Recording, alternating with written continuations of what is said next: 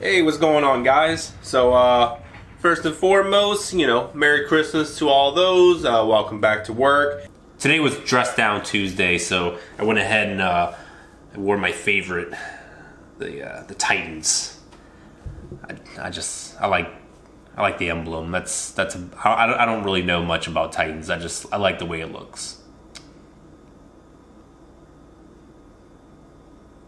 I know we only have a couple of days on the job, then we're going to New Year's. So let's just get this mobile suit inspected and we can ship it out so that way it can go into uh, the next skirmish, whatever that may be. But today we're going to be taking a look at the super custom Zaku F2000. Oh, I, I feel like a literal child made up this name. It, it's it's quite ridiculous. Why is it Why does it need to be super? What is it? The version 2000? I don't know. It's it's pretty ridiculous. Now this Zaku is going to be based on the Zaku 2 F2 type. So that's actually a little bit better, better of a name. You know, it's not going all crazy. It went from F2 to F2000. I don't know where that name came from, but anyways, that's the base. And if you want to get these particular parts for this mobile suit, you can go ahead and get to New Type HQ and you can order some parts off of their website. Uh, we can just get it all shipped over here at the hangar and utilize any replacement parts that we can. So check out the site. They should have a couple of Zaku's on there. I'm pretty sure they don't have the F2 or the F2000, which I don't think because this is pretty unique. Um, they should have other Zaku's somewhere in there. Now the pilot and the scumbag who named this mobile suit is Tatsu Shimano. Look kid, if you're, I, I don't know if he's out there, but god damn it, choose a better name. Don't just go straight for super, ultra, dynamic, ultimate. This this isn't a goddamn Street Fighter game, all right? Just just Zaku 2 F2.1. I don't know, but that that's better. It's better than goddamn Super Custom Zaku F2000 Ultra Force Arcade Edition. Anyways, the height of this mobile suit is going to be 17.8 meters, so kind of your average Zaku height. And then we got the weight of 200 metric tons, so a lot heavier than your average Zaku. The armor is going to be polystyrene plastic. I think that has to be a typo. There's no, there's no way that it's plastic. I'll go ahead and I'll look into that. There's, there's no way it's made out of plastic. That would that would be ludicrous. That'd be very much ludicrous. All right, so let's take a look at the details. Oh my God, this is a beautiful looking suit. Like the name may be stupid, but the kid did a just a banging job on this design. It looks fantastic. The colors, the weaponry efficiency, thruster output, the armor. This is peak Zaku, my boys. So I don't think there's one person in here that can say otherwise.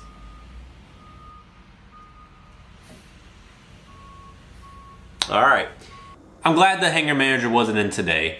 Because if he would have said anything negative about the Super Mega Ultra Dynamic Zaku 2 F2012 Super Arcade Edition, I probably would have murdered him.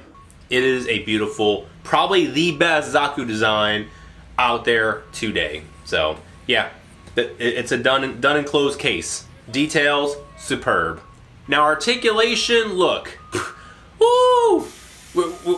Look, we gotta make some sacrifices, okay? So the articulation, it's not a safety concern, okay? I'm not having any concerns about the articulation because it does have the maneuverability possible to get to A to B and to do the battles. It does a lot of hovering, so I'm not really concerned about its legs moving in more than a 90 degree angle. It's fine as is. It has hovering capabilities, so let it hover, let it, you know, thrust in space it's going to be fine out there. It, it, doesn't really need to use all of its arms because it does have other ways to get its weaponry deployed, and most of its missiles that's already on the body. It's it's it's fine. The articulation is fine, even though limited. Now, just to wrap up all the hangar stuff before we go out there and uh, start looking at the weapons and get all those uh, tested.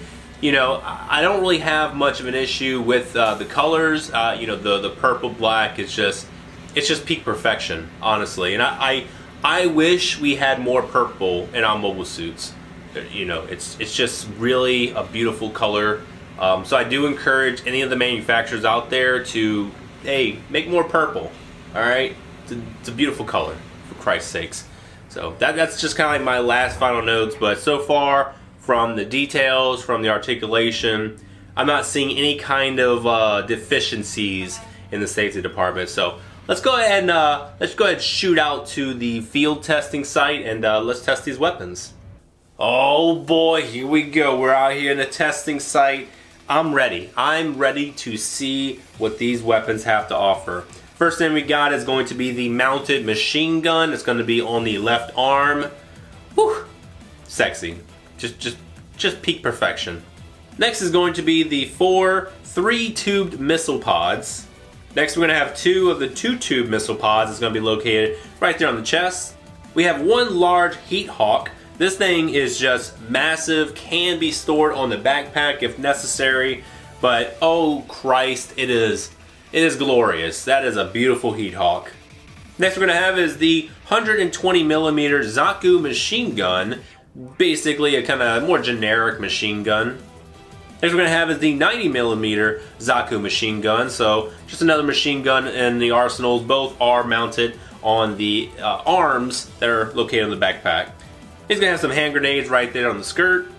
And lastly, a shield, but this is why even have a shield? You're not you're never really going to use it. Let's just be honest, guys. You're going to have all your weaponry. The armor itself is basically a shield. It has like all this reinforced armor, so the shield I wouldn't even worry about that. That's just, that's wasting an arm. Use that arm to utilize it for something else, grab another machine gun.